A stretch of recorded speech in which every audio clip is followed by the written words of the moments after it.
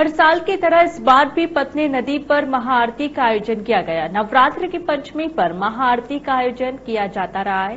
वहीं इस बार महाआरती में मुख्य अतिथि के रूप में नगर परिषद अध्यक्ष वसंत दहायत और पुलिस अधीक्षक धर्मराज मीणा शामिल हुए, जहाँ उन्होंने पूजा आरती में हिस्सा लिया। साथ ही पुलिस अधीक्षक ने दुर्गा पंडालों में सुरक्षा व्यवस्था का निरीक्षण किया। उन्होंने कहा कि विजयदशमी पर्व को लेकर अतिरिक्त पुलिस बल व्यवस्था की गई है।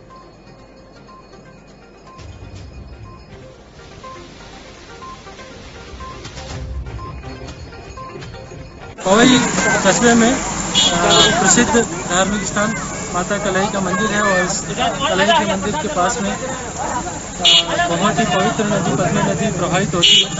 पटना नदी की आज पंचमी के दिवस महाआरती का आयोजन किया गया।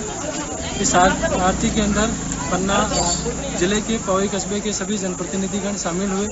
साथ ही साथ यहाँ के सभी प्रबुद्ध नागरिकगण यहाँ के युवा महिलाएँ बच्चे सभी शामिल हुए पत्रकार साथी भी। ये सब नगर वासियों का ये आरती का आज उत्सव था और हमारे एसपी साहब जी आए मुख्य अतिथि के रूप में। और हर वर्ष की भांति इस वर्ष भी आयोजन किया गया। सभी कार्यकर्ताओं की मेहनत थी।